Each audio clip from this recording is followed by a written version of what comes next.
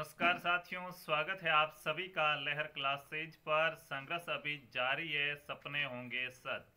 साथियों, आज Rajasthan High Court LDC group D और जो आपकी वनपाल और वन रक्षक की वैकेंसी निकली हुई है, उसके लिए हम राजस्थान का जीके पढ़ने वाले हैं।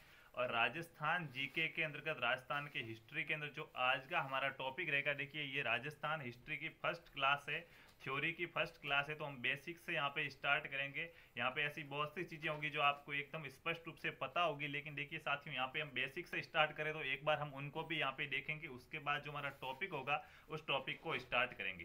तो देखिए, जब भी हम राजस्थान का इतिहास पढ़ेंगे तो देखिए इतिहास का मतलब क्या होता है? जो बातें बीत चुकी है, जो बीता हुआ समय है, उसे साथियों इतिहास कहा जाएगा।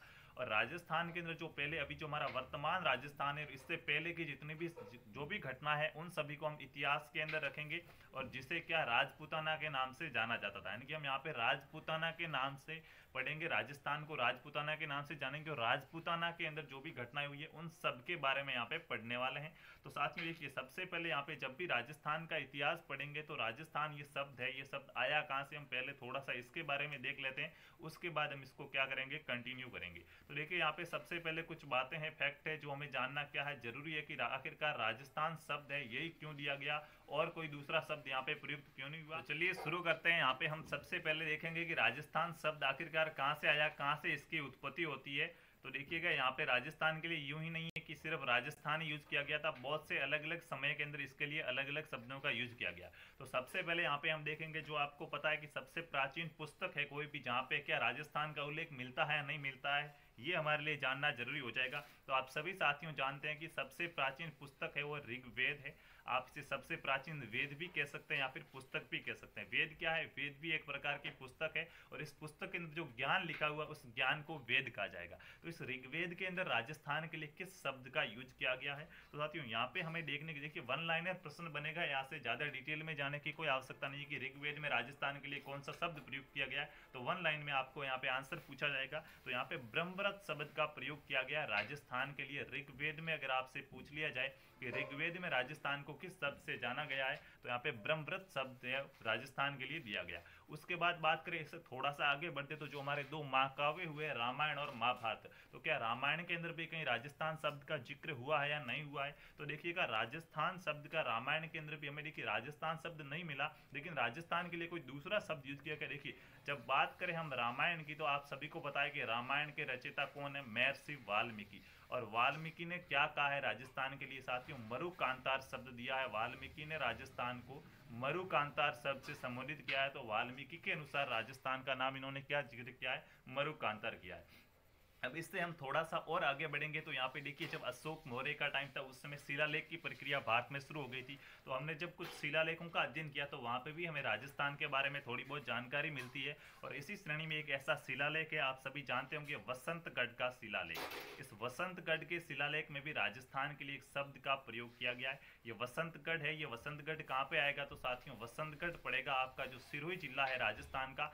सिरोही ज़िले में आएगा वसंतगढ़ और वसंतगढ़ के शिलालेख के अंदर राजस्थान के लिए राजस्थानादित्य। देखिएगा राजस्थान धन आदित्य। राजस्थानादित्य शब्द का प्रयोग किया गया है यहाँ पर वसंतगढ़ के शिलालेख के अंदर उसके बाद हम देखते हैं सीधे, देखिए जो मध्य यहाँ पे इतिहास है, उसके अंदर इसको मुख्य तो ये साथियों राजस्थान के बारे में यहाँ पे मैं आपको बता दूँ, ये राजपूतों की भूमि रही यहाँ पे जितने भी अधिकतर जो राजा हुए, वो राजपूत राजा हुए। तो इसके लिए राजपूतों का ये जो आवास रहा है तो इसको यहाँ तो राजपूताना के नाम से संबोधित भी किया गया है। यहाँ फिर कह सकते हैं कि ब्रिटिश काल के अंदर, अगर आपको ऐसे भी पूछ लिया जाए कि ब्रिटिश काल के अंदर राजस्थान के लिए किस शब्द का प्रयोग किया गया तो ब्रिटिश कालन की जब अंग्रेज़ यहाँ पे थे, ब्रिटिश थे, उसी समय इसको राजपूताना कहा जाता था और इससे पहले भी इसको राजपुताना के नाम से संबोधित किया जाता था। अब देखिएगा, बेसिक से इसको राजपुताना ही कहा गया। लेकिन अगर आपको स्पेसिफिक कुछ नाम दे पूछ रहा है या किसी तथ्य के आधार पर पूछ रहा है कि ऋग्वेद में राजस्थान को क्या कहा है तो आपको ब्रह्मव्रत बताना होगा। वाल्मीकि ने क्या कहा है तो आप वहाँ पे मरुकांतार लिखेंगे। वसंतगढ़ सिरोही का जो शिलालेख है उसमें राजस्थानी नीति का ये इतना पूछा नहीं जाता है जितना कि वाल्मीकि वाला वो पूछा जाएगा। उसके बाद ब्रिटिश काल के अंदर क्या कहा गया? तो ब्रिटिश काल में आपको याद रखना राजपूताना कहा गया। अब यहाँ पे प्रश्न और इसके अंदर से कैसे बनता है कि राजपूताना इसको किसने कहा था? यहाँ से वन लाइनर प्रश्न भी आता है कि राजस्थान के लिए सबसे पहले राजपूताना शब्द का प्रयोग किसने किया? तो देखिए मैंने आपको बता दिया कि हमारे राजस्थान के लेवल पर तो इसको राजपूताना ही कहा जाता था क्योंकि राजपूतों की भूमि थी। तो, तो ये तो सामने था तो इसके लिए हम किसी व्यक्ति विशेष का नाम नहीं बता सकते। सकते। लेकिन जब ब्रिटिश काल की बात करें तो साथियों 1800 के आसपास एक व्यक्ति हुआ जॉर्ज थॉम्स।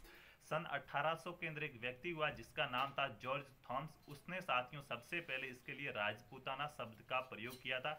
ये प्रश्न आपके एग्ज़ाम में कई बार बनता है। बेसिक सा यहाँ से पूछ लिया जाता है कि राजस्थान के लिए राजपूताना शब्द है वो सबसे पहले किसने दिया? लेकिन अगर थोड़ी सी हम हाई लेवल के एग्ज़ाम में जाए, इसकी गहराई के अंदर जाएँगे तो याद रखना साथियों, इसने सिर्फ़ मौखिक रूप से इसका उल्लेख किया था। इसने कहीं पर भी लिखित साक्ष्य नहीं दिया है कि राजस्थान को राजपूताना कहा जाता है। इसने सिर्फ़ मौखिक रूप से बोला था कि ये क्या है? राजपूताना है। तो आप कहेंगे, लिखित रूप से किसने दिया? कहाँ पे लिखा हुआ है कि राजस्थान को राजपूताना कहा जाता था। तो साथ ही मैं आपको बता दूँ, जॉर्ज थॉम्स का एक शिष्य हुआ है, जिसका नाम था विलियम फ्रैंकलिन।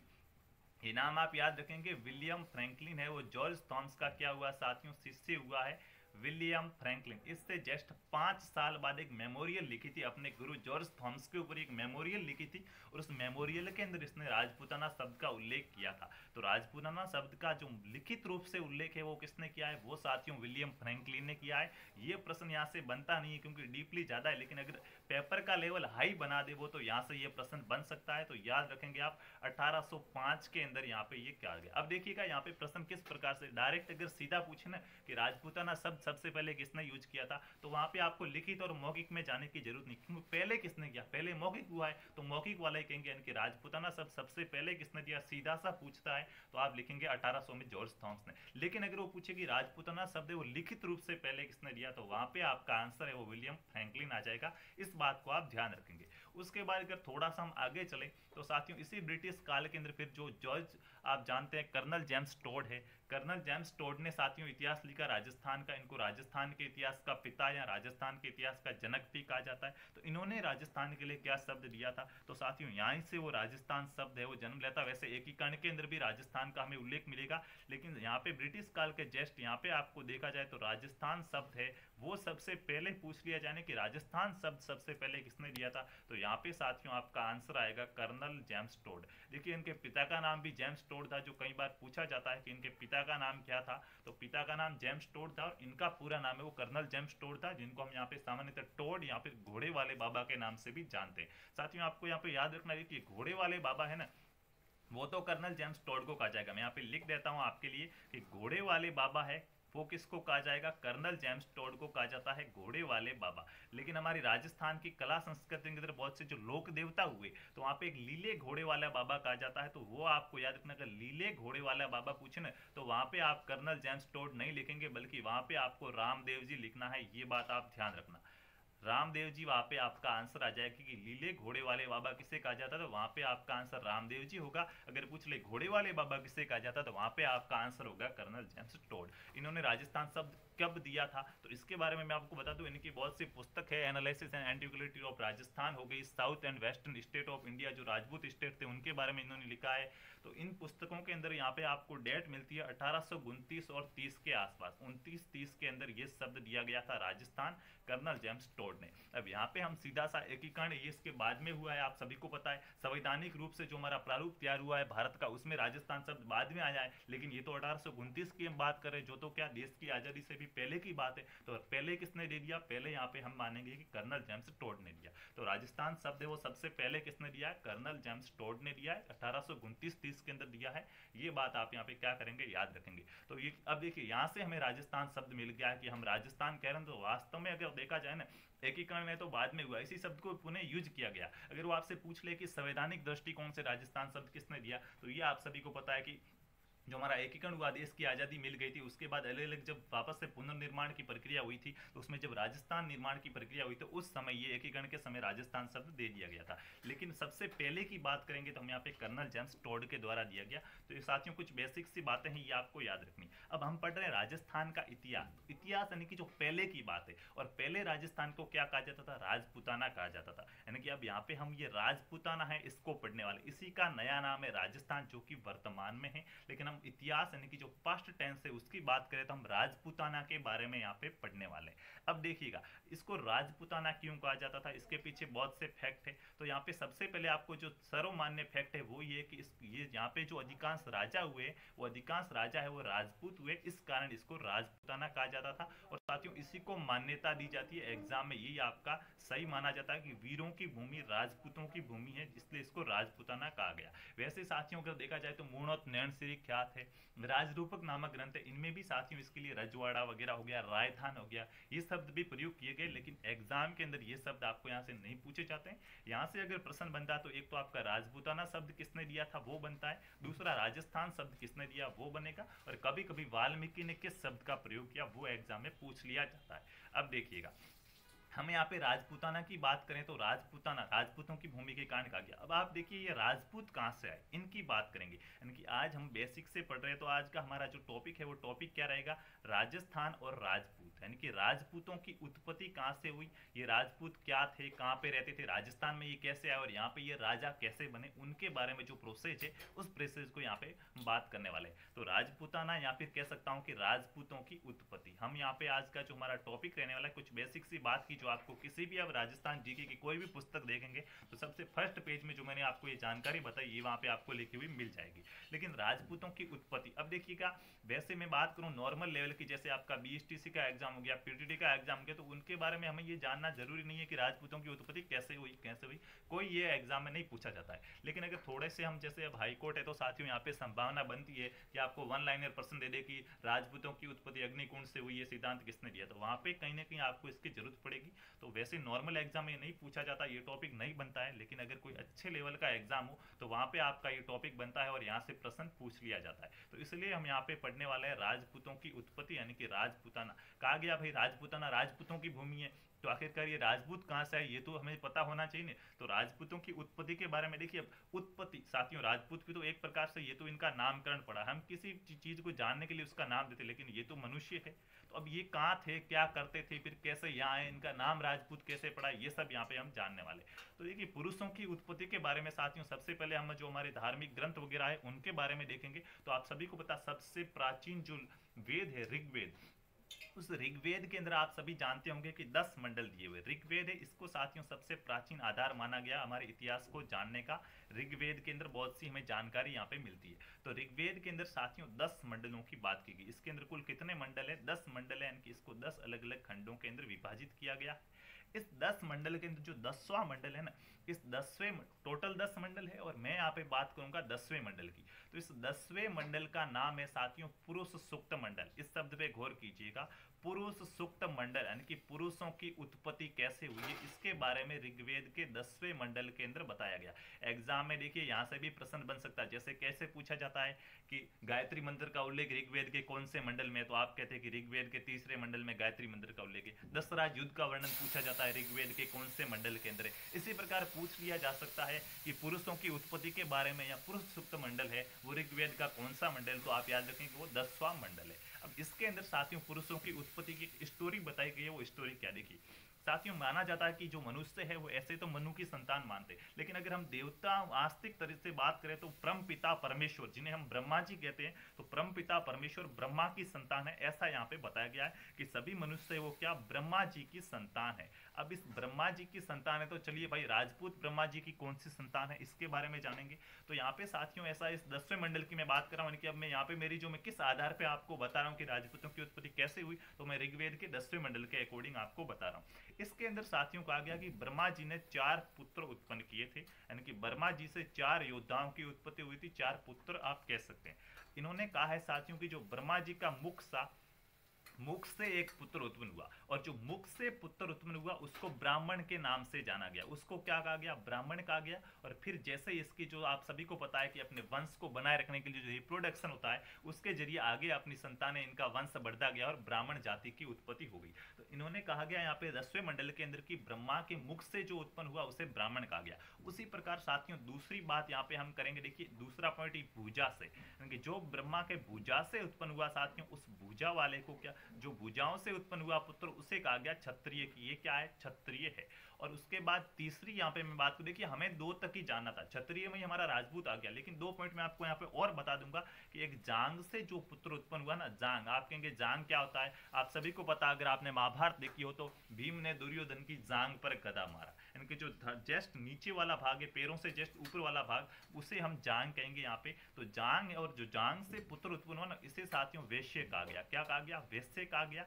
और उसके बाद यहाँ पे चौथी बात है कि पैरों से जो पुत्र उत्पन्न हुआ, उसे कहा गया शूद्र और यही वर्ण व्यवस्था थी। आप सभी को पता, यही क्या थी? वर्ण व्यवस्था थी। पूर्व ऋग्वेदिक काल के अंदर कोई वर्ण व्यवस्था नहीं थी। ये वर्ण व्यवस्था थी तो वो पहले कर्म के आधार पर थी, लेकिन जैसे ऋग्वेदिक काल के बाद का टाइम आया तो यहाँ पे ये वर्ण व्यवस्था है, वो जन्म के आधार पर हो गई थी। तो उसी की हम यहाँ पे बात कर रहे हैं। तो यहाँ पे देखिएगा आप जो ये भुजाओं से उत्पन्न हुआ है ना, जिसको किस नाम से जाना जा रहा है? क्षत्रिय नाम से। इसी क्षत्रिय का साथियों दूसरा नाम इन्होंने क्या दिया? राजपूत दिया, जो सबका क्या रक्षक माना गया था कि इसकी उत्पत्ति है, वो दूसरों की रक्षा करने के लिए हुई है। तो यहाँ पे ऋग्वेद के अंदर जो भुजाओं, वर्मा जी की भुजाओं से जो पुत्र उत्पन्न हुआ, जिसे कहा गया क्षत्रिय, और इसी क्षत्रिय को राजपूत नाम से जाना गया। ये तो ऋग्वेद के अंदर स्टोरी मिलती है कि राजपूत यहाँ से पैदा हुआ था, ये यहाँ से राजपूतों की उत्पत्ति हुई है। लेकिन और भी बहुत सारी स्टोरियाँ हैं, ऋग्वेद के अंदर हमने देखी। लेकिन अगर हमारे इतिहास के अंदर हम देखें तो यहाँ पे जो इतिहासकार है, वो क्या मानते हैं? उनके बारे में हम यहाँ पे देखेंगे तो देखिए, मैं यहाँ पे न्यूज़ स्लाइड लूँगा, तब तक आप इसका चाहे तो स्क्रीनशॉट ले सकते हैं। न्यूज़ स्लाइड के अंदर साथियों देखिए आप ये आपको पूछा नहीं जाता है, बल्कि अच्छे से आपको समझ में आ सके, इसलिए मैं आपको बता रहा हूँ। बाकी कोई भी किसी भी एग्ज़ाम में आपको नहीं पूछेगा कि राजपूतों की उत्पत्ति कैसे हुई है, बल्कि इसके जो पाँच छह सिद्धांत है, वो सिद्धांत किसने दिए, उनके बारे में आपको पूछेगा। लेकिन वो सिद्धांत कैसे आए, क्यों दिए तो उसके लिए हमें थोड़ी सी स्टोरी पता होनी चाहिए, ताकि हमें अच्छे से समझ में आ सके। तो यहाँ पे देखिएगा, मैं बात करूँगा भारत की तो भारत लेवल पे आप सभी को पता है, एक राजा था जिसका नाम था हर्ष, या फिर उसे हर्षवर्धन नाम से भी जाना जाता था। देखिए इस स्टोरी के अकॉर्डिंग क्या, ये थोड़ी सी यहाँ पे सर्वमान्य स्टोरी है, इसको थोड़ा ज़्यादा माना जाता है कि हर्षवर्धन नाम का एक राजा हुआ था।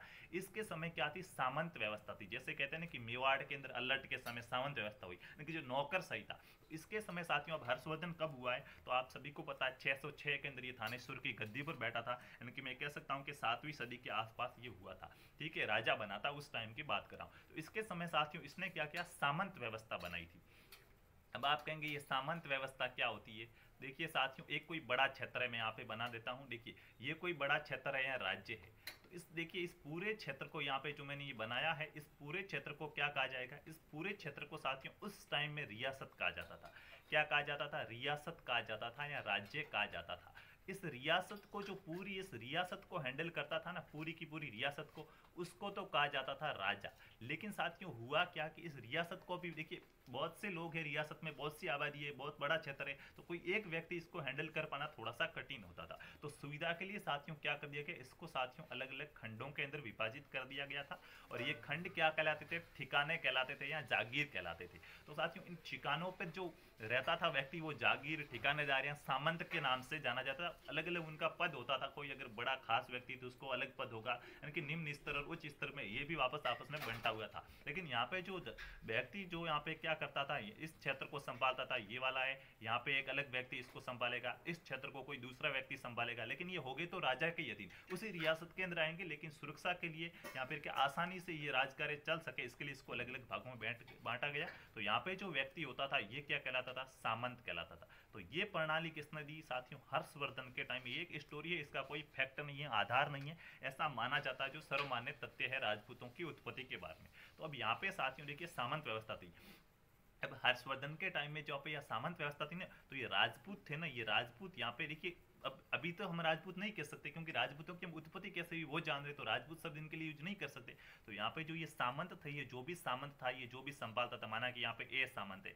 ये अपने आप को राजा का पुत्र मानता था। क्यों? क्योंकि राजा के अधीन है भाई। रियासत राजा ने एक छोटा सा टुकड़ा इसको दे रखा है संभालने के लिए, और ये वापस राजा के अधीन है। यहाँ से जितना भी कामकाज होता है, वो राजा के देख में हो रहा है। तो ये अपने आप को क्या करते थे? राजा का पुत्र मानते थे कि हम क्या है? राजा के पुत्र है। राजा हमारे क्या? घनिष्ठ संबंधी है, क्योंकि इनका हम राज कार्य संभाल रहे हैं, इन्होंने हमें एक जागीर सौंप रखी है। तो मतलब ये अपने आप को क्या मानते थे? राजा का पुत्र मानते थे। यानी कि मैं यहाँ पे आपके लिए लिख दूँगा कि ये अपने आप को साथियों मानते थे, राजा का पुत्र।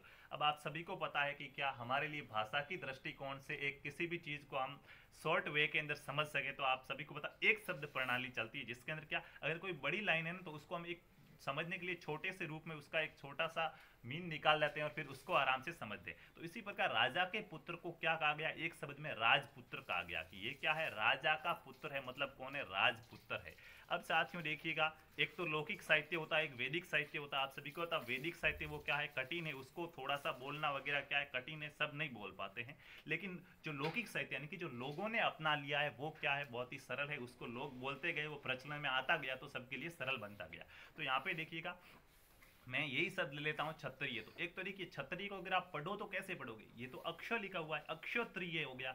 और अब हम इसको बोलते कैसे? क्षत्रिय क्षत्रिय ये वो आपका कौन सा? असम वाला नृत्य हो गया। तो ऐसा हो गया इनकी हम बोलते हैं कुछ और है, लेकिन वास्तव में लिख क्यों? क्योंकि हमें आसान लगता है इसलिए। इसी प्रकार यहाँ पे क्या हुआ? इस राजपुत्र के अंदर जो चित्र है ना, इसका क्या हो गया? अपभ्रंश हो गया। एक तो राजपुत्र बोलना, जैसे मैं यहाँ पे लिखता हूँ, एक तो आपको सुपुत्र बोलना है। कि ये लड़का सुपुत्र है और एक आपको बोलना, ये लड़का सपूत है तो आपको सपूत वाला ज़्यादा इजी लगेगा, जबकि सपुत्र थोड़ा सा बोलने के अंदर क्या कठिन है कि वो लड़का सपुत्र है और एक बोल रहे हम, वो लड़का सपूत है तो सपूत कहीं ना कहीं हमें क्या लग रहा है इजी लग रहा है। तो कुछ ऐसा ही यहाँ पे हुआ कि जो राजपुत्र था ना, इस राजपुत्र का क्या हो गया, अपभ्रंश हो गया और यहाँ पे क्या शब्द आ गया, राजपूत, यानी कि इस पुत्र की जगह त का यूज़ होने लगा और यहाँ पे बन गया राजपूत। यानी कि राजपूत वर्ड इस हर्षवर्धन वाली कहानी के अनुसार कहाँ से आया, राजपुत्र सामंत थे भाई अब सामंत राजा का अपना, अपने को राजा का पुत्र मानते थे तो इनको राजपुत्र कहा गया और राजपुत्र अपभ्रंश होकर राजपूत में बदल गया। अब आप कहेंगे तो ये तो सामंत थे तो ये राजा कैसे बन गए? सामंत थे तो भाई सामंत राजा कैसे बने? अब देखिए, ये साथियों बात करेंगे तो यहाँ पे इनकी बाहुबल और इनकी भुजाओं के आधार पर ही हो पाया। कहते हैं कि राजपुर वीर थे। अब ये स्टोरी यहाँ पे आपको बताएगी कि राजपूत क्या थे? वीर थे, क्योंकि ये एक सामंत थे, दूसरों के अधीन थे, लेकिन इन्होंने अपने बाहुबल के आधार पर, अपने साहस के आधार पर क्या राजा की पदवी यहाँ पे प्राप्त की थी, राजा बन गए। वो कैसे बने तो देखिए, साथियों, सातवीं सदी के अंदर, सातवीं सदी कौन सी होगी? 600 के बाद वाली। जैसे मैं बात करूँ ना छः सौ छिहत्तर तो ये अब सातवीं सदी के अंदर आएगा। जैसे मैं बात करूँगा ग्यारह सौ इक्यानवे तो ग्यारह सौ के बाद है मतलब बारहवीं सदी आएगा, ठीक है? तो अब सातवीं सदी में क्या हुआ? हर्षवर्धन की मृत्यु होगी अब हर्षवर्धन की मृत्यु होगी मतलब इस रियासत का क्या राजा था, वो क्या हो गया? मर गया। यानी कि अब इनके ऊपर कोई नहीं, आप कहेंगे कोई और इसका पुत्र उत्तराधिकारी राजा बन जाता? बिल्कुल बन जाता। लेकिन इन सामंतों ने यहाँ पे क्या कर दिया? खुद को स्वतंत्र घोषित कर दिया कि हर्षवर्धन चला गया, अब हमारे ऊपर कोई नहीं है, दूसरा राजा नहीं बन सकता, हम क्या है? स्वतंत्र है। कि अब ये जो ब्लॉक बने हुए थे ना, कि ये पहला भाग है दूसरा भाग है, इन्होंने खुद को स्वतंत्र घोषित कर दिया कि कोई नहीं है हमारे ऊपर, हम खुद क्या स्वतंत्र है? इन्होंने अपने आप के छोटे से लेकर क्या, राज्य घोषित कर दिया कि हमारा ये अलग पर्सनल राज्य या पर्सनल रियासत है। तो भाई ये क्या बन गए? रियासत के मालिक क्या बन गए? राजा बन गए। तो इस प्रकार साथियों क्या हुआ? यहाँ से राजपूत क्या बन गए? राजा बन गए। तो ये स्टोरी है, ये आपको सिर्फ़ यहाँ पे याद रखना है कि आखिरकार राजपूतों की उत्पत्ति कैसे हुई। बाकी आपको सीधा सा प्रश्न अगर ऋग्वेद के अकॉर्डिंग पूछे तो आप क्या बता देंगे? पुरुष सुक्त मंडल, जो ऋग्वेद का दसवां मंडल है, वो बता देंगे। अब देखिए, यहाँ से राजपूतों की बात करें तो एक राजपूत काल के बारे में प्रश्न पूछा गया था पटवार के एग्ज़ाम के अंदर कि राजपूत काल कौन सा था? देखिए, अब आप कहेंगे राजपूत तो अंत तक रहे तो फिर उनका काल कैसे हो गया? साथियों, देखिए, एक कोई वर्चस्व वाला व्यक्ति होता है तो उसकी हम अधीनता स्वीकार करना अच्छा लगता है कि हाँ अब देखिए, एक कोई एमपी या एमएलए है और एक छोटा नागरिक है तो वो कहीं ना कहीं एमपी और एमएलए के कॉन्टेक्ट में ज़्यादा आना चाहेगा, क्योंकि उससे उसके क्या है, उसका भी पद बढ़ा लेवल बढ़ा यार मेरी एमपी से पहचान है, मैं उसके साथ हूँ, अगर मेरे साथ कोई प्रॉब्लम वगैरह होती तो वो मेरा सपोर्ट करेगा। तो कुछ इसी प्रकार यहाँ पे होता था कि संपूर्ण भारत है ना तो इस भारत के अंदर भी क्या हुआ था, एक ऐसा वर्चस्व वाली रियासत होती थी, जो क्या सभी के मामले वगैरह झगड़े वगैरह सुलझाया करती थी, यानी कि हम केंद्र मान सकते हैं। तो उस समय साथियों क्या थी? दिल्ली थी। दिल्ली के पद पर जो बैठा है ना वो ही सर्वशक्तिशाली माना जाता था और उसका थोड़ा सा क्या रहता था, दबाव रहता था। दिल्ली वालों से सभी डरेंगे क्योंकि वहाँ पे वो राजगति जिसने उसको मतलब हार्ड मान लिया पहले से कि ये यहाँ पे इसको जीतना सबसे कठिन है यहाँ पे जिसने, यहाँ पे जो बैठा वो क्या है, शक्तिशाली है। तो कुछ ऐसा ही यहाँ पे था कि जो दिल्ली पर राज कर रहा है ना, उसका काल माना जाएगा। टाइम कहते हैं ना, अपना टाइम आएगा। तो ये काल वही टाइम है कि अभी किसका टाइम चल रहा है। तो उसी प्रकार साथियों, राजपूतों का भी एक टाइम चला जिसे हम क्या कहा जाता है, राजपूत काल कहते हैं। अब ये राजपूत काल कौन सा था?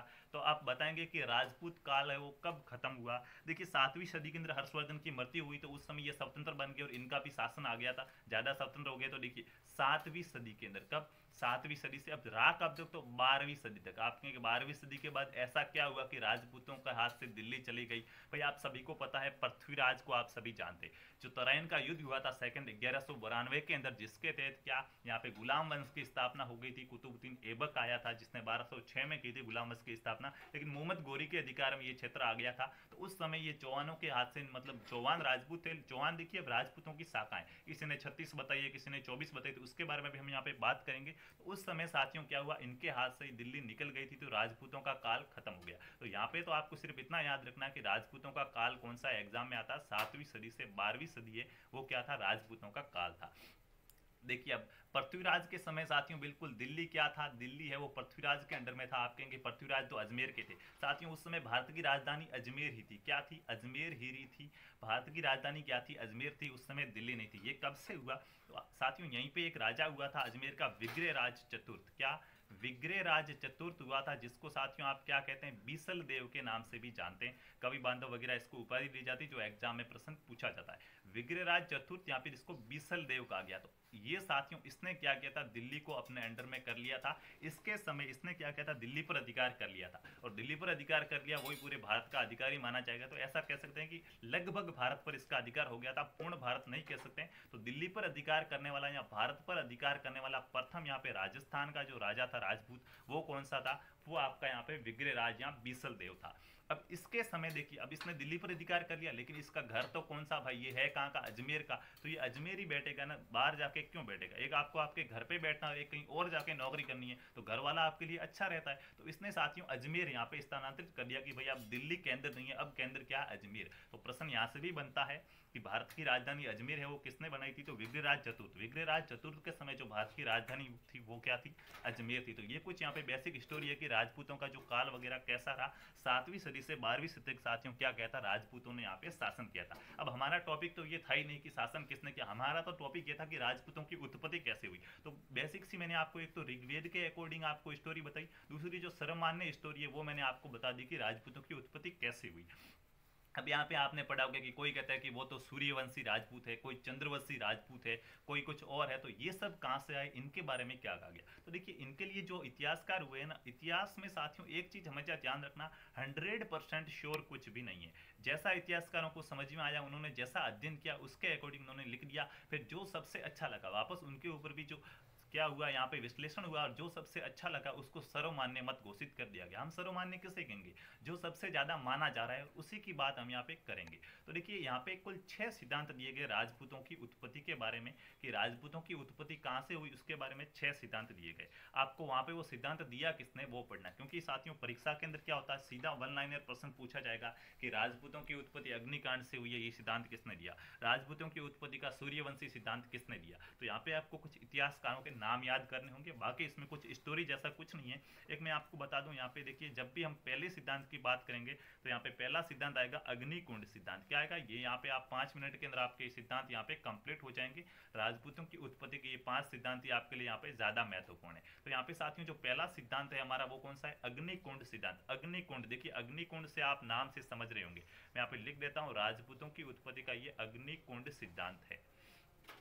इस अग्निकुंड से आप समझ रहे होंगे, आग का कुंड। आग का कुंड कहीं आपने देखा है क्या? बिल्कुल। रामायण महाभारत देखी तो जब यज्ञ होता था ना तो यज्ञ के अंदर जो अग्नि वगैरह जलाई जाती थी, वो कुंड होता था ना, उस कुंड को क्या कहा गया? अग्निकुंड कहा गया। जो आग, जिसके अंदर आग जल रही है, उस कुंड को क्या कहा गया? अग्नि कुंड कहा गया। लेकिन ये विशेषता यज्ञ वाले कुंड के लिए प्रयोग किया जाता था। अब इसके अंदर साथियों, ये सिद्धांत दिया, इसमें क्या कहा गया? पहले तो मैं आपको वो बताता हूँ। लेकिन ये स्टोरी कहाँ की है? इसमें साथियों कहा गया कि राजपूतों की जो उत्पत्ति हुई ना, वो आग के कुंड से हुई है। यानी कि यज्ञ का आग का कुंड था, उसमें से राजपूत निकले थे। अब आप कहेंगे, सर जी, यहाँ पे तो साइंस भी फेल हो रही है। आग में से किसी व्यक्ति का जन्म कैसे हो सकता है? तो देखिए स्टोरी क्या है? एक यहाँ पे आप सभी को पता, राजस्थान की एक रचना है, क्या है? पृथ्वीराज रासो। इस रचना का बारे में आप जानते होंगे, पृथ्वीराज रासो, जिसको किसने लिखा है, आप सभी को पता है, चंद्र बरदाई ने लिखा है, जो पृथ्वीराज का क्या, कुछ लोग इसको पृथ्वीराज का दोस्त मानते, दरबारी मानते, जबकि कुछ लोग कहते हैं कि पृथ्वीराज के 600-700 वर्ष बाद में हुआ था, कोई दोस्त दोस्त नहीं था तो वो अलग अलग मत है, लेकिन हमें यहाँ पे याद रखना है कि पृथ्वीराज रासो है, वो रासो किसने लिखा है तो आपको पता चंद्र बरदाई ने लिखा। कुछ लोग यहाँ पे क्या कंफ्यूज होते हैं, चंद्र बरदाई भी लिखा जाता है और ये भी लिखा जाता है। देखिए एक आती है पृथ्वीराज विजय। यहाँ पे कंफ्यूज हो जाते हैं कि ये पृथ्वीराज विजय और रासो। अब यहाँ पे देखिए तो आपको थोड़ा सा यहाँ पे हिंट बता दूँ कि विजय, पीछे कह रहा जय आ रहा है। पृथ्वीराज विजय, पीछे जय आ रहा तो जय से यहाँ पे आपका जयानक हो जाएगा। तो पृथ्वीराज विजय है, वो जयानक ने लिखी है, जबकि पृथ्वीराज रासो है, वो किसने लिखी है? चंद्रबर्दय ने लिखी अब इसके मैं यहाँ पे बात क्यों कर रहा हूँ, क्योंकि साथियों, इसके के अंदर ये अग्निकुंड सिद्धांत दिया गया है। आपका पहला पॉइंट यहाँ से कंप्लीट होता है कि अग्निकुंड सिद्धांत किसने दिया है? तो अग्निकुंड सिद्धांत दिया है चंद्रबरदाई ने। किसने दिया है? चंद्रबरदाई ने अब ये देखिए, कुछ लोग हैं जो इसका क्या करते हैं, समर्थन करते हैं तो सूर्यमल मिश्र को आप सभी यहाँ पे इतिहासकार को सूर्यमल मिश्र, ये इस सिद्धांत का क्या करते हैं, समर्थन करते हैं। आप कहेंगे, पहले आप सिद्धांत तो बता दीजिए, फिर क्या पता हम भी समर्थन करें या नहीं करें। तो देखिए, पहले आप लिख दीजिएगा कि सूर्यमल मिश्र और टोड इस सिद्धांत का क्या करते हैं, समर्थन करते हैं। अब ये मेरे यहाँ पे लिखाने का कारण है कि दो टाइप से प्रश्न बनेगा। एक तो सीधा बनेगा कि अग्निकुंड सिद्धांत दिया किसने तो दिया तो पृथ्वीराज रासो के अंदर चंद्र बरदाई ने है। जबकि पूछेगा कि अग्निकुंड सिद्धांत का समर्थन करने वाले इतिहासकार है तो वहाँ पे आप याद रखना, सूर्यमल मिश्र और थोड़ा सा समर्थन टोड भी करते थे, इनको समर्थन में माना जाएगा। हालाँकि टोड कहते हैं कि ये राजपूत विदेशी है, लेकिन यहाँ पे हम इनको मानेंगे कि जो प्रत्यक्ष तो नहीं, अप्रत्यक्ष समर्थन रहा था टोड का भी। तो समर्थन करता सूर्यमल मिश्र और कौन हो जाएँगे? टोड हो जाएँगे। अब ये स्टोरी क्या है?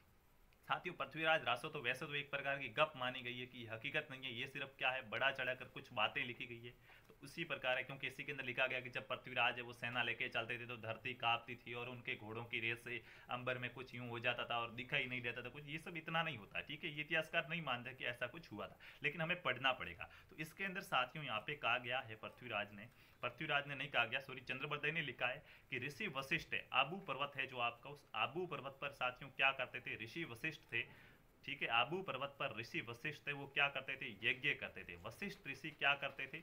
यज्ञ करते थे। और देखिए, यज्ञ कर रहे थे ना तो यज्ञ का शुद्धिकरण होना बहुत ही ज़रूरी है, लेकिन कुछ यहाँ पे राक्षस प्रवृत्ति के लोग होते थे, ठीक है? उसके वो क्या करते थे? इस यज्ञ को फैल कर रहे थे कि इस यज्ञ को कहीं ना कहीं किसी तरह से बिगाड़ रहे थे। अब ये राक्षस भी हो सकते हैं कुछ बुरे लोग, जिन्हें हम राक्षस प्रवृत्ति के लोग कहेंगे तो वो इस यज्ञ को कहीं ना कहीं विफल बना रहे थे, यज्ञ सफल नहीं हो पा था। और ऋषि क्या कर सकते हैं? यज्ञ ही कर सकते हैं। अब उनसे भाई लड़ाई तो करने वाले हैं नहीं। तो ऋषि वशिष्ठ ने क्या किया? ये एक कहानी किसकी साथियों? ये मैं चंद्रबरदाई की कहानी बता रहा हूँ, जो चंद्रबरदाई ने पृथ्वीराज रासो में लिखा है। तो ये चंद्रबरदाई यहाँ पे कहते हैं कि ऋषि वशिष्ठ ने एक बड़ा सा यज्ञ का आयोजन किया और जिसके अंदर उन्होंने ईश्वर से प्रार्थना की थी कि मेरा जो ये बुरी प्रवृत्ति वाले लोग यज्ञ नष्ट कर रहे हैं, इनको मारने के लिए मुझे क्या यहाँ पे योद्धा चाहिए। तो ये यज्ञ हुआ तो यहाँ पे कहा गया कि ऋषि वशिष्ठ जब यज्ञ कर रहे थे तो इनके जो यज्ञ का कुंड है ना, जहाँ पे साथियों अग्नि वगैरह जलती है और यज्ञ होता है, उस अग्नि के कुंड में से चार योद्धा निकले थे। क्या कहा गया? चार योद्धा। ये स्टोरी याद रखना, यहाँ से वापस स्टोरी एक नया मोड़ भी लेगी, जो कर्नल जेम्स टोड बताते हैं। अब यहाँ से ये कहते हैं कि चार योद्धा निकले थे इन योद्धाओं ने फिर क्या किया था कि ऋषि वशिष्ठ मुनि के जो भी यज्ञ को फैल कर रहे थे, उन लोगों को मारा था, उन राक्षसों को मारा था और यहीं से फिर ये क्या हो गया, इनका वर्चस्व जम गया और ये अलग अलग क्षेत्रों के क्या बन गए, मालिक बन गए और राजा बन गए। तो सबसे पहले तो यहाँ पे ये योद्धा कौन से थे? आग में से निकलने वाले ये चार योद्धा कौन से थे? तो देखिए करम याद रखना यहाँ पे आपको। सबसे पहले यहाँ पे निकला प्रतिहार। क्या कहा गया? प्रतिहार। अभी हो सकता है उस व्यक्ति का नाम प्रतिहार और आगे आगे धीरे धीरे क्या हो गया? उसके पूरे कुल को प्रतिहार वंश के नाम से जाना गया। उसके बाद साथियों, दूसरा यहाँ पे निकला परमान। क्या निकला? परमान।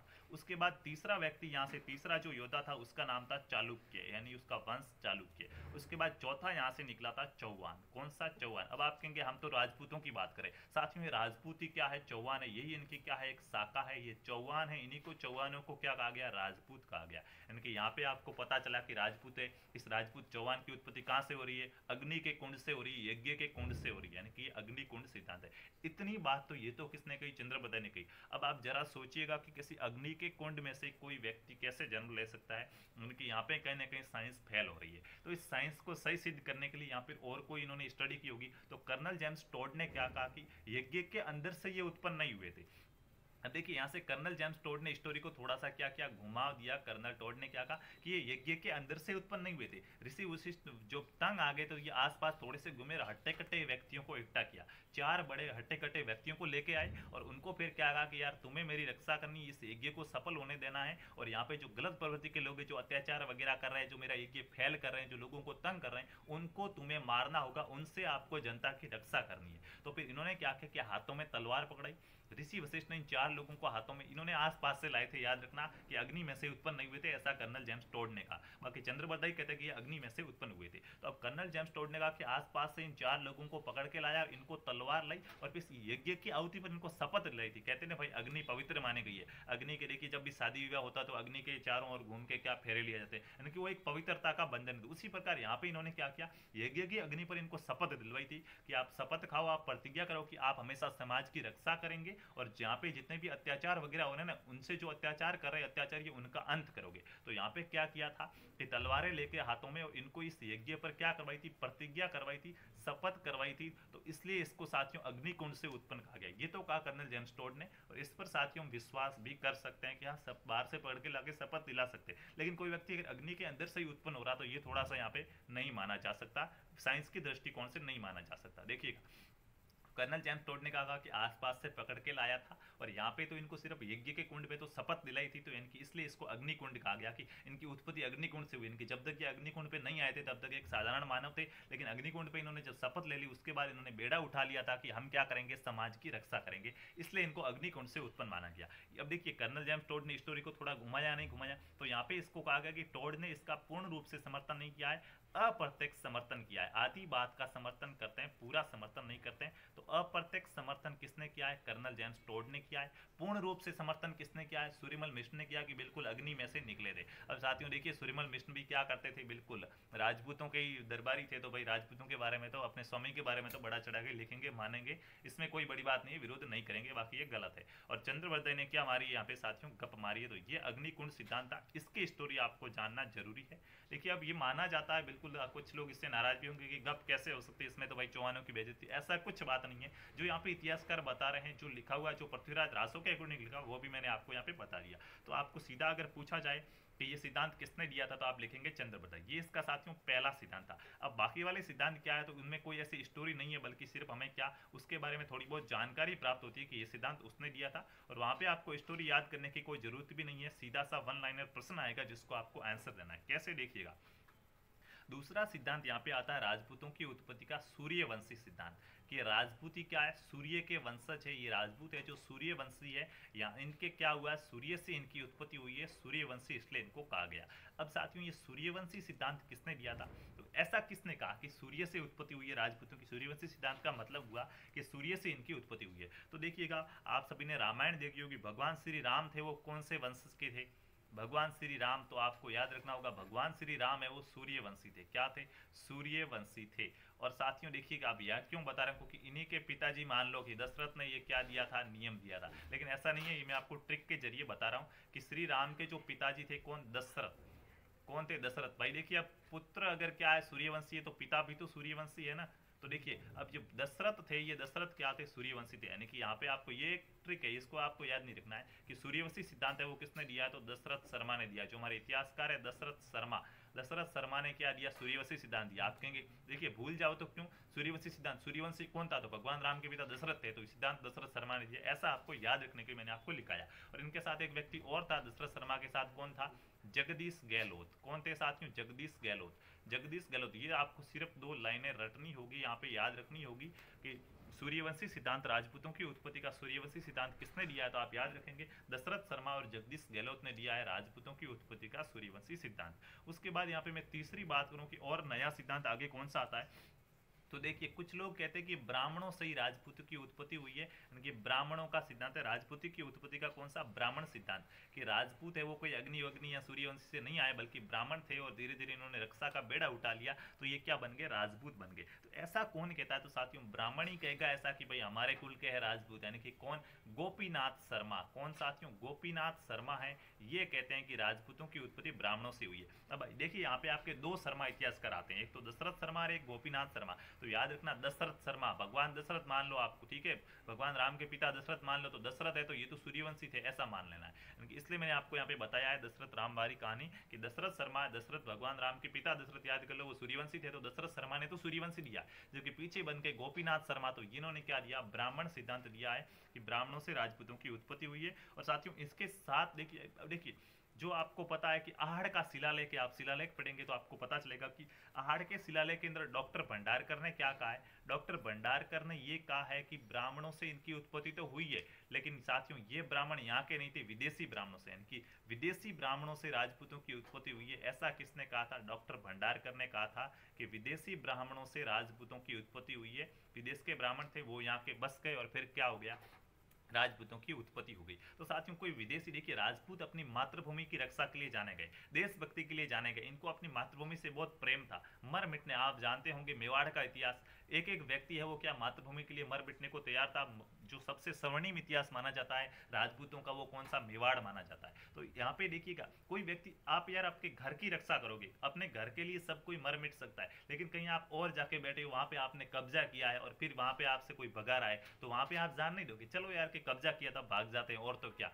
मरना थोड़ा ही लेकिन अपने घर जो आपका खुद का है, आपका पैतृक है, उस पर आप बैठे और वहाँ पे अगर आपको कोई भगा रहा आप नहीं भागोगे, वहाँ पे आप जान देने के लिए तैयार हो जाओगे। यानी कि ये तो सवाल ही नहीं बनता कि राजपूत विदेशी थे। अगर विदेशी थे तो ये भारत की भूमि को इतना क्यों चाहते थे? भारत की इस भूमि के लिए, राजस्थान की इस भूमि के लिए वो न्यूछावर प्राण न्यूछावर उन्होंने क्यों किए? विदेशी होता तो भाग जाता वापस भाई अंग्रेज़ क्या थे? यहाँ पे टिके, कुछ उन्होंने भी अधिकार किया, लेकिन आखिरकार उनको भागना पड़ा, क्योंकि वो यहीं के नहीं थे। अगर यहीं के होते तो वो कुछ भी, वो भी मर मिटने को तैयार हो जाते, लेकिन भागते नहीं। तो यहाँ पे इनको विदेशी तो नहीं माना जा सकता सकता बट ऐसा मत है तो आपको याद रखना होगा कि ब्राह्मणों से उत्पत्ति गोपीनाथ शर्मा ने कही है, जबकि जो विदेशी ब्राह्मणों से उत्पत्ति है, वो डॉक्टर भंडारकर ने कही है। उसके बाद आपके दो सिद्धांत यहाँ पे रहते हैं तो चौथा सिद्धांत है, वो चौथा सिद्धांत कौन सा होगा?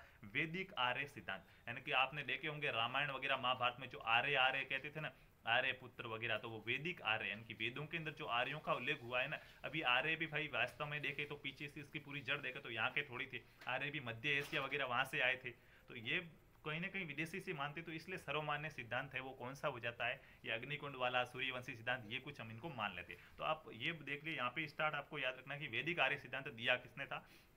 तो सी वी वेद्य, वैदिक से वेद्य याद रह जाएगा, आपको कोई प्रॉब्लम नहीं है। सी वी वेद्य तो सी वी वेद्य ने कौन सा दिया? वैदिक आर्य सिद्धांत दिया। उसके बाद इनके साथ साथियों आप डॉक्टर ओझा को याद रखेंगे, जो आपके गौरी शंकर हीराचंद ओझा थे, उन्होंने भी इस मत की क्या की पुष्टि की है। तो वैदिक आर्य सिद्धांत है, वो सी वी वेद्य और डॉक्टर ओझा ने दिया था। उसके बाद चलेंगे यहाँ पे कौन सा? पांचवा सिद्धांत। तो पांचवा सिद्धांत यहाँ पे साथियों आता है विदेशी सिद्धांत, कि सारे के सारे कौन थे? विदेशी थे। अब विदेशी ब्राह्मण है वो तो भंडार करने का है, लेकिन विदेशी सिद्धांत, ब्राह्मणों का उन्होंने नहीं कहा कि विदेशी थे, बाहर के थे और यहाँ आके इन्होंने कब्जा कर लिया। तो ऐसा किसने कहा? तो देखिए जेम्स टोड विदेशी है तो टोड भी तो कहेंगे विदेशी लेकिन आप कहेंगे टोड तो सूर्य अग्निवंशी सिद्धांत में आ रहे थे अग्निकुंड सिद्धांत में आ रहे थे तो देखिए उन्होंने उस प्रकार से स्टोरी को घुमाया था कि अग्निकुंड से नहीं वहाँ पे उन्होंने पूर्ण रूप से नहीं कहा था कि ये क्या है अग्निकुंड से उत्पन्न हुए उन्होंने अप्रत्यक्ष समर्थन किया था लेकिन यहाँ पे विदेशी में उनका पूर्ण समर्थन है टोड ने क्या कहा कि हमारे विदेश के अंदर एक जाति है जो बिल्कुल राजपूतों के समान है जैसे राजपूत कपड़े पहनते हैं वैसे वहाँ भी कपड़े पहनते हैं राजपूत भी घोड़े रखते हैं वो भी घोड़े रखते हैं और राजपूतों की जो सती प्रथा वगैरह का प्रचलन है वैसा का वैसा वहाँ भी होता है राजपूत भी अपनी मातृभूमि के लिए मर मिटने को तैयार है और वो भी मर मिटने, यानी कि उन्होंने समानता की थी। अब यार मेरे समान और कोई दूसरा लोग भी है जो मेरे जैसा जैसा व्यवहार करता है, मेरे जैसा दिखता है तो ये हंड्रेड परसेंट श्योर तो नहीं कि हम एक ही पिता के संतान है। ऐसा ज़रूरी नहीं है, वहाँ से हमारी उत्पत्ति नहीं मानी जा सकती। कोई एक समान है, व्यवहार समान है, रहने रहने का तरीका समान है, उससे हम उत्पत्ति नहीं मान सकते। तो कहीं ना कहीं आखिरकार जाकर ये सारे सिद्धांत फैल होते हैं, लेकिन हमें यहाँ पे याद रखना होगा कि टोड ने क्या कहा था? तो कर्नल जेम्स टोड ने एक साथियों जाति बताई थी कौन सी यहाँ पे देखिएगा, सक जो शक थे ना, उन शकों से राजपूतों की उत्पत्ति हुई और इस शक को विदेशी माना कि शकों से राजपूतों की उत्पत्ति हुई है, ऐसा किसने कहा? टोडने का। उसके बाद साथियों, कनिगम। तो कनिगम ने क से आपको याद रहेगा कनिगम ने क्या कहा? कुषाणों से कहा कि नहीं शकों से नहीं हुई है, इनकी उत्पत्ति है वो कुषाणों से हुई है। तो कनिगम ने क्या कहा कि राजपूतों की उत्पत्ति कुषाणों से हुई है। और उसके बाद साथियों, आता है वी ए स्मिथ। देखिए, वो वहाँ पे आपके जो क्या थे? सी वी वैद्य थे तो वैद्य से वेदी कार्य रहेगा, जबकि ये स्मिथ है।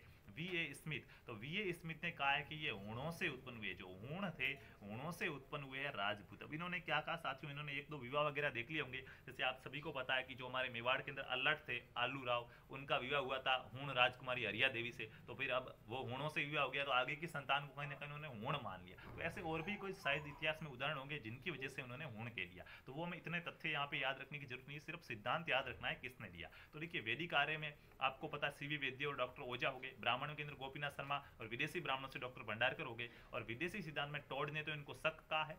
कनिगम ने कुषाण, देखिए, कनिगम से कुषाण आपको याद रह जाएगा और टोड ने क्या कहा? शक का टोड ने इन पे शक किया, ऐसा याद रखो कि टोड ने राजपूतों पे कहीं ना कहीं शक किया, इसलिए इनकी जाँच पड़ताल की और इतिहास लिखा कि वास्तव में ये थे क्या? तो टोड ने तो इनकी उत्पत्ति शकों से की है और जो वी ए स्मिथ है, इन्होंने क्या किया? हूण से इनकी उत्पत्ति बताई है। अब साथियों, देखिए, कितने सारे सिद्धांत आ गए? पाँच सिद्धांत आ गए। अब आपके अंदर भी यहाँ पे क्या होगी? प्रॉब्लम होगी कि कौन सा सिद्धांत माने? तो एक दिमाग वाला बंदा आया यहाँ पे और उन्होंने इन सारे, सबकी समस्या को क्या कर दिया? खत्म कर दिया। उन्होंने कौन सा, इनकी छठा सिद्धांत यहाँ पे राजपूतों की उत्पत्ति का आता है, जिसने सारी इस राजपूतों वाली लड़ाई थी, जो उत्पत्ति की, उसको यहाँ पे खत्म कर दिया। कि इसने सिद्धांत दिया मिश्रित मूल सिद्धांत। समझ गए होंगे आप? मिश्रित मूल सिद्धांत का मतलब क्या हो गया?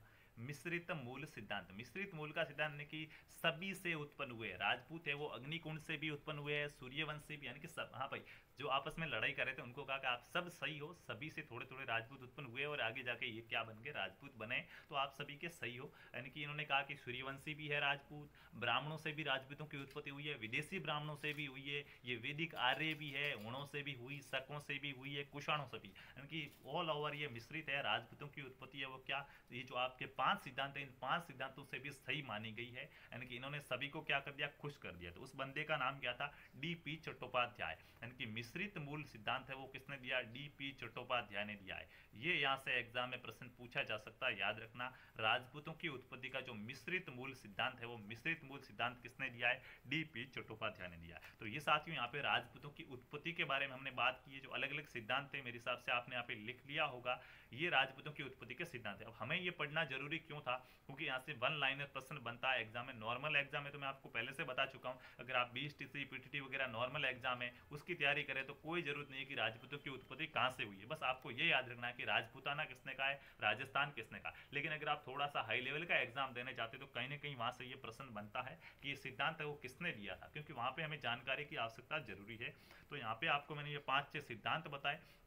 अब देखिए, आपको यहाँ पे कोई कंफ्यूजन वाली बात नहीं कि आखिरकार राजपूत उत्पन्न कैसे हुए? एग्ज़ाम में पूछ लिया कि उत्पत्ति कहाँ से हुई हम क्या लिखेंगे? देखिए, आप कोई आरएस का एग्ज़ाम देने जा रहे तो वहाँ पे आपको रिटर्न लिखना पड़ेगा। वहाँ पे आपको मेंस में लिखना पड़ता है तो वहाँ पे देखिएगा, उसका आपका लेवल भी अलग होगा, और भी आपको नई स्टोरी मिलेगी, जो इससे भी क्या होगी? सरमान्य होगी। लेकिन यहाँ पे आपको एग्ज़ाम में ऑप्शन मिलने वाले तो ऑप्शन मिलने वाले तो ऑप्शन में आपको प्रश्न भी कैसा पूछेगा कि अग्निकुंड का सिद्धांत किसने दिया है? तो आपको वहाँ पे वैज्ञानिक जो इतिहासकार है, इनका नाम मिल जाएगा तो आपको पता है कि अग्निकुंड का सिद्धांत है, वो दिया तो चंद्रबरदाई ने है, और इसका समर्थन सूर्यमल मिश्र और अप्रत्यक्ष समर्थन है, वो कर्नल जेम्स टोड करते हैं यहाँ पे सिर्फ़ आपको याद रखने की ज़रूरत है। ऑप्शन देख के आप पर्सन को आराम से टिक कर पाएँगे। वो आपको सीधा नहीं पूछेगा कि राजपूतों की उत्पत्ति कैसे हुई है, बल्कि वो आपको कुछ ना कुछ तथ्य देगा कि जैसे राजपूतों की उत्पत्ति सूर्यवंशी सिद्धांत, ये किसने दिया? तो वहाँ पे आपको याद कर लेना है कि सूर्यवंशी सिद्धांत किसने दिया? ब्राह्मण सिद्धांत किसने दिया? वैदिक आर्य, विदेशी वगैरह ये किसने दिया? और मिश्रित मूल सिद्धांत यहाँ से थोड़ा इंपोर्टेंट बनता है, इसको आप याद कर देंगे डी पी चट्टोपाध्याय ने दिया था मिश्रित मूल सिद्धांत। बाकी जो स्टोरिया है कि ये सामंत थे, सामंत से फिर राजा बने, यानी कि साथियों कहीं ना कहीं क्या,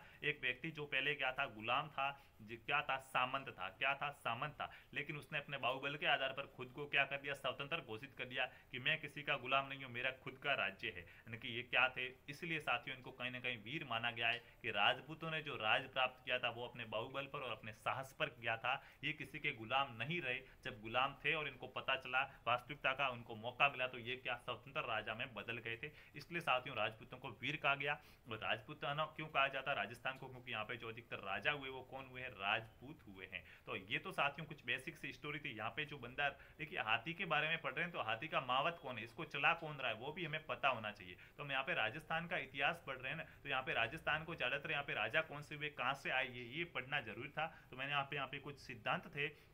उन सिद्धांतों के बारे में बताया कि आखिरकार राजपूतों की उत्पत्ति कहाँ से हुई। अब देखिएगा ये भाई एक बंदा तो था नहीं कि राजपूत आया, राजस्थान पे राज किया। राजस्थान भी अलग अलग राज्यों के, देखिए, अभी जो हमारा भारत देश है, इसमें कैसे राज्य उसी प्रकार पहले पूरा का पूरा ये राजपूताना तो एक देश था, लेकिन इसके अंदर बहुत से, देखिए, जब उनकी धर्म और संस्कृति की बात आती नहीं तो ये समानता थी। राजपूत थे, सभी जगह तो समानता थी, इसलिए एक क्षेत्र बन गया था कि यहाँ पे राजपूतों का क्षेत्र है। लेकिन ये पूरा राजपूताना ये भी अलग अलग रियासतों में बंटा हुआ था। जैसे मैं कुछ एग्ज़ाम्पल देना चाहूँ, जैसे मेवाड़ हो गया तो मेवाड़ वाले थे ना, वो मेवाड़ को एक अपना देश मानते थे, एक राज्य मानते थे, ठीक है? देश या राज्य के वैसे देश कुछ नहीं होता है राज्य ही होता है। संविधान में भी आपको राज्य ही मिलेगा, देश नहीं मिलेगा। वो अपने आप को एक राज्य मानते थे कि हमारा, अब मारवाड़ है तो मारवाड़ दूसरा हो गया तो ये एक अलग देश हो गया। अभी वर्तमान के अगर हम हालात देखें तो कैसे भारत और पाकिस्तान है, लड़ाई नहीं करते थे भाई, लड़ाई भी होती थी, वो इतिहास है, पढ़ेंगे। लेकिन जिस प्रकार हम अपना देश अलग मानते हैं, उनका अलग मानते हैं, उसी प्रकार मेवाड़ वाले राजपूत थे, वो अपने आप को अलग मानते थे कि हम अलग है। मारवाड़ वाले अपने आप को अलग मानेंगे। अगर मारवाड़ में कोई गड़बड़ हुई तो मेवाड़ वालों को उनसे कोई लेना देना नहीं है। लेकिन अगर उनको लग रहा है, जैसे मुगलों ने मारवाड़ पर अधिकार कर लिया तो हाँ मेवाड़ वाले प्रभावित होंगे, क्योंकि शत्रु निकट आ रहा है, उनकी सीमाएँ अब लग रही है तो कहीं ना कहीं घुसपैठ की संभावना तो इसलिए वो अपना स्वार्थ देख के एक दूसरे की सहायता करते थे। बाकी ये एक नहीं थे अलग अलग क्षेत्र थे अलग अलग देश मानते थे। तो अब हम एक एक देश के बारे में पढ़ेंगे कि ये जो एक एक राज्य था, मेवाड़ क्या था, मारवाड़ क्या था ढूंढाड़ क्या था, अजमेर वगैरह, इन सब के बारे में हम यहाँ पे पढ़ेंगे। यानी कि ये यहाँ पे साथियों, क्या इनको रियासतें मानी गई है? एक जो बड़ा क्षेत्र होता था, जिस प्रकार अभी हमारे राज्य होता है और राज्य के अंदर ज़िले होते तो उनको तो हम ज़िले कह देते हैं, जो भी संभाग वगैरह हो गया तो एक संभाग देख सकते हैं कि भाई पाँच छह राज्य हो गए पाँच से ज़िले हो गए, इन जिलों पे एक संभाग है। ठीक है, जो वहाँ का क्या मुख्य उसी प्रकार कहीं ना कहीं संभाग, ज़िले वगैरह, ऐसा ही कुछ रियासत और ठिकाने, जागीरा वगैरह होती थी, परगने वगैरह, बहुत से अलग अलग इनके स्तर थे जो मैंने आपको यहाँ पे बताए। तो अब देखिए, हम कल से यहाँ पे क्या पढ़ने वाले देखिए साथियों मैं कल का नहीं कह सकता हूँ, जैसे मुझे टाइम मिलेगा, देखिए, मैं भी साथियों ऐसा नहीं है कि भाई पूरा मेरा काम यहाँ पे यूट्यूब वाला ही है, मैं भी कुछ करता हूँ तो यहाँ पे पढ़ाई वगैरह तो देखिएगा। जैसे मुझे टाइम मिलेगा तो मैं नेक्स्ट आपका अगला वीडियो यहाँ पे अपलोड कर दूँगा तो अब नेक्स्ट हम यहाँ से देखिए, सबसे पुराना, इतिहास का मतलब प्राचीन है, जो पुराना है तो पुराने से पढ़ेंगे तो सबसे पुराना राजस्थान में क्या है? मेवाड़ है कि राजस्थान तो अपने राजपूताना पढ़ा ये था क्या? ये तो पढ़ा कि ये तो एक नाम था, एक बड़े से क्षेत्र का नाम था राजपूताना, लेकिन अब इसके अंदर अलग अलग रियासतें थी तो उनको पढ़ेंगे तो राजपूताना की जो सबसे प्राचीन रियासत है, वो कौन सी है? मेवाड़ रियासत है। तो हम नेक्स्ट क्लास के अंदर यहाँ पे क्या मेवाड़ रियासत के बारे में पढ़ेंगे कि मेवाड़ के अंदर क्या था और यहाँ पे जो राजा हुए, कौन हुए, उन्होंने क्या क्या किया, इनकी कल से आपका जो विधिवत रूप से इतिहास है, वो स्टार्ट हो जाएगा। तो साथियों, ये यहाँ पे आप जो भी देख रहे हैं हाई कोर्ट हो गया ग्रुप डी के अंदर L High Court group D वगैरह, वन रक्षक और वन पालकन की वो प्रत्येक भर्ती एग्ज़ाम जिसके अंदर राजस्थान जी के पूछा जाता है, उन सभी के लिए आपके इंपोर्टेंट है। क्योंकि यहाँ पे भले ही आप बी का एग्ज़ाम दे रहे हैं, आप कहेंगे इतना हाई लेवल का हम क्या करें? साथियों सिर्फ़ बी से आप टीचर थोड़ी पढ़ेंगे। आगे आपको रीड भी तो देना है ना तो कहीं ना कहीं आपके ये काम आने वाली लेकिन हाँ मैं आपको यहाँ पे बताता रहूँगा कि ये अभी आपको अगर बी का एग्ज़ाम दे रहे तो याद करना है या नहीं करना ये सब मैं आपको यहाँ पे बताता रहूँगा कि लेवल क्या है वो मैं आपको यहाँ पे बताता रहूँगा। तो आप जो किसी भी भर्ती परीक्षा की तैयारी कर रहे हैं तो अपने दोस्तों को भी शेयर करेंगे। जो भी चैनल पर नए थे वो चैनल को सब्सक्राइब करके बेल आइकन को ऑल पे क्लिक कर देंगे ताकि नेक्स्ट आपका जो भी वीडियो आए वो सबसे पहले आपको प्राप्त हो सके। तो आशा करता हूँ ये क्लास आपको पसंद आई होगी। चलिए चलते हैं, मिलेंगे अगली क्लास में, तब तक खुश रहिए, अच्छे रहिए। जय जय राजस्थान, जय हिंद, जय भारत, वंदे मातरम।